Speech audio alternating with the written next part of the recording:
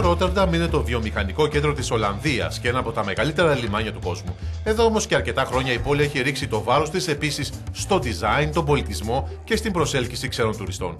Πάνω απ' όλα όμως βάζει το περιβάλλον. Γι' αυτό το λόγο φιλοξένησε φέτος τη Σύνοδο Cleantech. Τι είναι ακριβώς αυτή η σύνοδος, ο Fred Van Boynichen, διευθυντής της Rotterdam Partners, μας εξηγεί. Μιλάμε για καθαρή βιομηχανία, ενεργειακή επάρκεια, καθαρή ενέργεια, νερό και καθαρό αέρα. Όλα αυτά τα θέματα απασχολούν τη Σύνοδο, η οποία συγκεντρώνει διευθυντές και project manager από όλο τον κόσμο, οι οποίοι αναζητούν επενδυτές και χρήματα για τις ιδέες τους.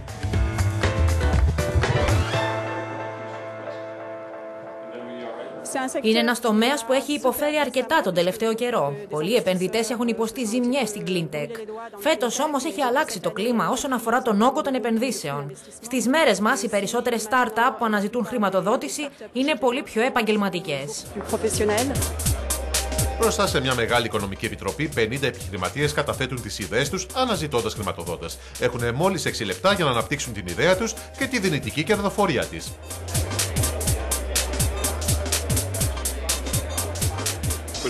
Υπάρχουν πολλά χρήματα που μπορούν να εξοικονομηθούν για τους πελάτες που απευθυνόμαστε, για την ενεργειακή επάρκεια, τις νέες μορφές ηλεκτρικής ενέργειας και τις νέες τεχνολογίες που θα έχουμε στο μέλλον.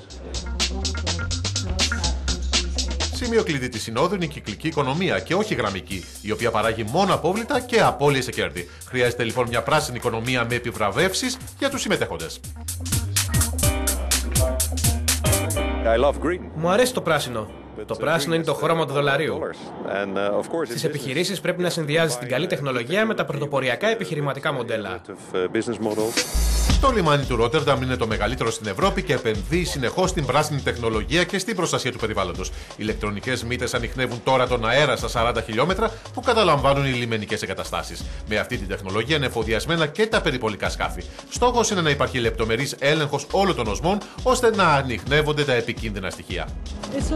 Είναι σαν ένα σύστημα πρώιμης προειδοποίησης. Άρα μπορούμε να αντιδράσουμε πολύ γρηγορότερα όταν συμβαίνει κάτι. Το ίδιο μπορούν να κάνουν και οι επιχειρήσεις και οι βιομηχανίες.